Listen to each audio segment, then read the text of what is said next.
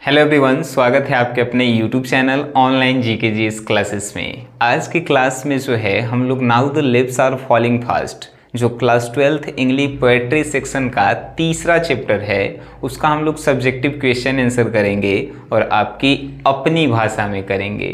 ठीक है? तो now the leaves are falling fast के राइटर के नाम सब कोई जानता है डब्ल्यू एच ऑर्डन लेकिन हम लोग आज की क्लास में सब्जेक्टिव क्वेश्चन को करेंगे।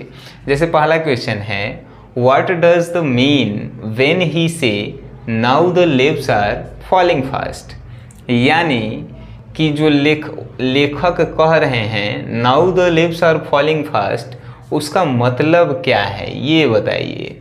व्हाट डज द मीन यानी कि क्या मतलब है? वेन ही से लेखक ने कहा now the leaves are falling fast यानी कि अब पत्ते तेज़ी से गिर रहे हैं।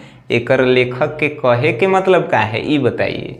देखिए answer the poet mean that the leaf leaves of the branches of the tree are falling. यहाँ तक पहले समझते हैं। पोएट का कहने का मतलब है कि leaves of the branches of the tree are falling यानी कि पेड़ के जो शाखाएँ हैं ब्रांचेस हैं, उससे पत्तियाँ यानी कि पत्ते जो हैं, फॉलिंग, गिर रहे हैं। लेखक के कहने का मतलब है कि पेड़ की शाखाओं से पत्ते जो हैं, गिर रहे हैं, फॉलिंग हो रहे हैं and the tree are becoming और पेड़ जो है, पेड़ बिकमिंग लिफलेस और पेड़ जो है, पत्ते रहित तो हो रहे हैं, यानी कि बिना पत्ता के जो हैं, हो रहे हैं, पेड़। ठीक है? फिर से एक बार समझिए तनी। The poet mean that the leave of the branches of the tree are falling यानी कि पेड़ की शाखाओं से ब्रांचेस से पत्ते जो है गिर रहे हैं and the tree are becoming leafless और पेड़ जो हैं पत्ते रहित तो हो रहे हैं, यानी कि उनसे पत्ते बिना पत्ता के पेड़ जो है हो रहा है। And it also meant by a person who slowly goes to it, death and at last in grave इसका मतलब है कि इसका एक और मतलब है, यानी कि now the leaves are falling fast का कहने का पोएट का एक और मतलब है it is also meant by a person यानी कि एक व्यक्ति जो धीरे धीरे स्लोली गोज टू दिथ जो धीरे धीरे अपनी मृत्यु की ओर जाता है at last in a grave धीरे धीरे मृत्यु की ओर जाता है अपनी कब्र की तरफ़. लास्ट समय में जो है, वो अपनी कब्र की ओर चला जाता है. यही लेखक जो है, कहना चाहता था now the leaves are falling fast के माध्यम से. आपका क्वेश्चन समझ में बड़ी आसानी से आ गया होगा कि लेखक now the leaves are falling fast के कहने का मतलब क्या था? तो now the leaves are falling fast के कहने का मतलब था कि पेड़ की शाखाओं से पत्तियाँ गिर रही है और इसका दूसरा मतलब यह था कि एक व्यक्ति जो धीरे धीरे अपनी मृत्यु के आखिरी क्षणों में जाता है और उसके बाद वो जो है कब्र में चला जाता है। सेकेंड है what are the word in the second stanza suggest suggest death and the effect of death on the human body बड़ी सिंपल क्वेश्चन है what are the words in the second stanza stanza means होता है श्लोक यानी कविता के दूसरे श्लोक में वो कौन सा शब्द है वर्ड्स है जिसने सजेस्ट किया है दीथ यानी मृत्यु the effect of death on the human body और मानव शरीर के ऊपर मृत्यु का क्या प्रभाव पड़ता है? ये श्लोक, दूसरे श्लोक में कौन सा ऐसा शब्द कहता है? फिर से क्वेश्चन की बात करें तो दूसरे श्लोक में ऐसा कौन सा शब्द है जो मृत्यु और मानव जीवन पर प्रभावित मृत्यु के प्रभाव को बताता है? तो देखिए in the second stanza the following are the words that suggest death and the effect of the death on the human body ये पूरा जो है, हमने क्वेश्चन को उतार दिया है।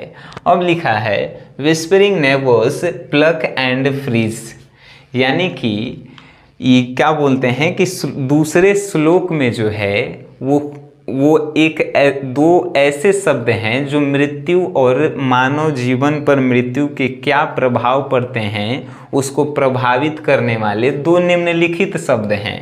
एक है प्लक प्लक मीन्स होता है साहस एंड सेकंड है फ्रीज मतलब कि जमाना। तो साहस और आप, साहस अगर आपके अंदर नहीं है ज़्यादा दिन जीने की और आप जो हैं जमाने की बातों को सुनते हैं तो ज़्यादा दिन तक नहीं जी पाएँगे।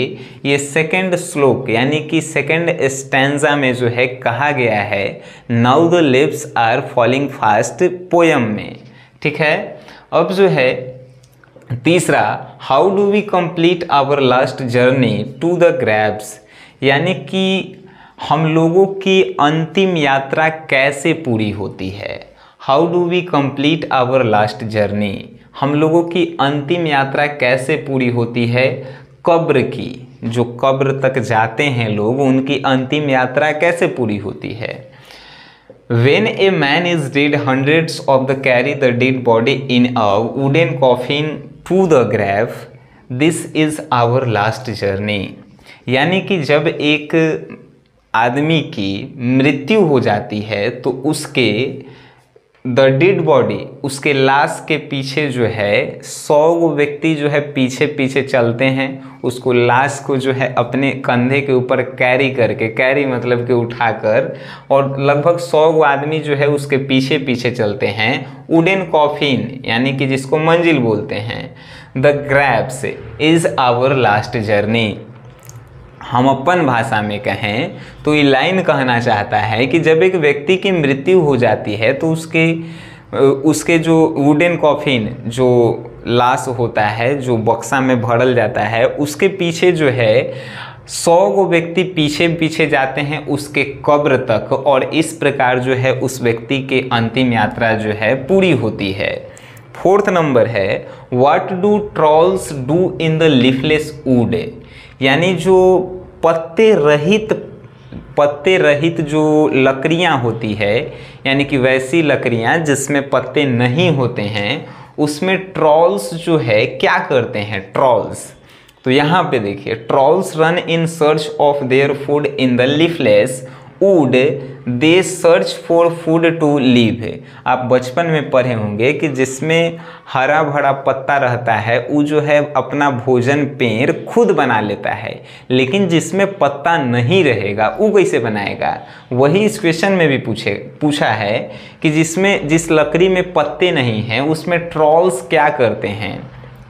तो trolls run in search of their food तो ट्रॉल्स जो है भोजन की तलाश में दौड़ते रहते हैं कौन? कौन सा? तो लीफलेस लकड़ी में, लीफलेस वुड में मतलब कि पत्ते रहित लकड़ी में they search for the food to live है। और वो जो है अपनी भोजन की तलाश करते रहते हैं ज़िंदा रहने के लिए।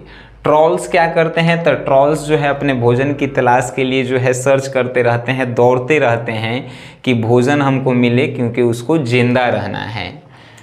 Who are travellers five number question है. Who are travellers and how will they be blessed यानी कि ट्रैवलर्स कौन है? फ़र्स्ट ऑफ़ ऑल क्वेश्चन कहता है कि हु आर ट्रैवलर्स ट्रैवलर्स कौन है? यात्री कौन है? And how will they be blessed और उसको जो है क्या आशीर्वाद मिला है? नहीं तो यहाँ पे आंसर कहता है old person are the travellers यानी कि जो बूढ़े व्यक्ति हैं, वो जो हैं यात्री हैं.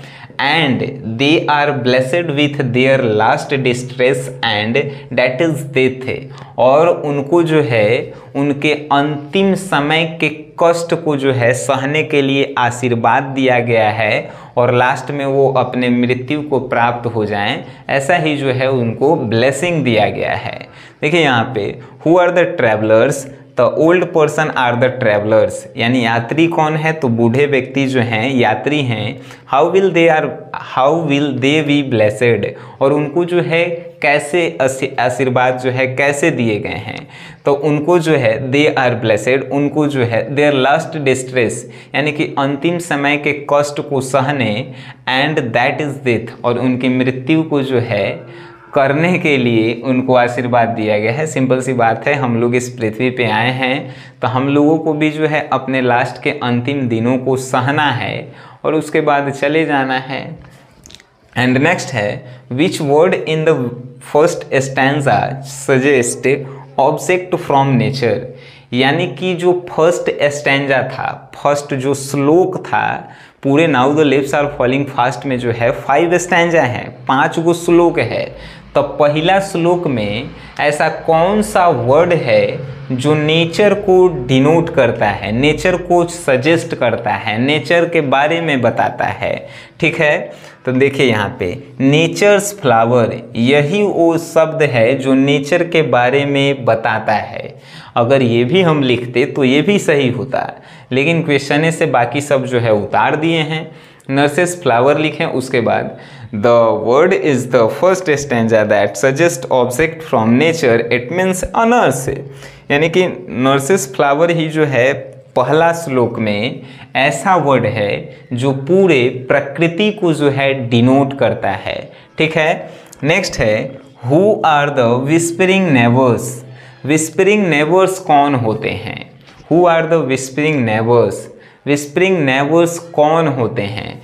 द एजेंट और messenger of death are the whispering neighbours whispering कहें के मतलब कि फुसफुसाने वाला पड़ोसी कौन होता है है कि नहीं? तो एजेंट और messenger of the death are the whispering neighbours who come when a human body is dead यहाँ पे क्वेश्चन का कह क्वेश्चन कह रहा है कि जो पड़ोसी हम लोगों के होते हैं विस्परिंग नेबर्स फुसफुसाने वाले पड़ोसी यहाँ पे कहने का मतलब है, जो आपके फेरा में रहते हैं, ठीक है? तो वो कौन है यहाँ पे? एजेंट और messenger of death are the whispering neighbours जो डिथ मतलब कि मौत, और मैसेंजर मतलब कि मैसेज पहुँचाने वाले एजेंट मतलब कि किसी के आदमी होते हैं। तो मौत के जो फरिश्ते होते हैं, यहाँ पे ई कहने का मतलब होता है कि मौत के जो फरिश्ते हैं, वही जो हैं हम लोगों के विस्परिंग नेबर्स हैं। Who come when a human body is dead और वो कब आते हैं तो हम लोगों की मृत्यु हो जाती है। मानव शरीर की जब मृत्यु हो जाती है तो मौत के फरिश्ते आते हैं आत्माओं को ले जाने के लिए। एंड नेक्स्ट क्वेश्चन है how does human life become miserable मनुष्यों का जीवन जो है, कैसे कष्टदायी है? यानी मनुष्यों का जीवन कैसे कष्टदायी है? तो suffering from disease and other problems तो आप जब जब एक मनुष्य रोगों से ग्रसित होता है और उसके जीवन में प्रॉब्लम्स होते हैं make human life become miserable and unhappy तो वो मनुष्य जो है, कष्ट में होता है और वो जो है अपने आप को अनहैप्पी महसूस करता है, यानी कि दुखी महसूस करता है। How does human life become miserable यानी कि एक मनुष्य जो है अपने आप को कैसे कष्ट में समझता है तो जब उसके पास जो है, बड़े रोगों से कोई ग्रसित होता है सपोज़ डैट आप अपने आप को दुखी कब समझते हैं तो जब आपके पास कोई समस्याएँ होती है, बहुत सारे रोग आपको घेरे हुए रहते हैं तो आप अपने आप को जो है, दुखी समझते हैं, कष्टदायी समझते हैं, ठीक है? आप ये एक क्वेश्चन और है जो आपके नोट्स में जो है मिल जाएँगे। नोट्स के लिए जो है आपको जो है एक नंबर है जिस पे आपको फ़र्स्ट ऑफ़ ऑल पेमेंट करना होता है। उसी पे जो है पेमेंट का स्क्रीनशॉट व्हाट्सअप किया जाता है। उसके बाद जो है आपको नोट्स दिया जाता है।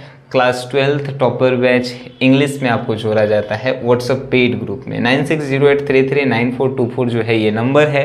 आप लोग इंटरेस्टेड हैं तो जुड़ सकते हैं, नहीं इंटरेस्टेड हैं छोड़ दीजिएगा।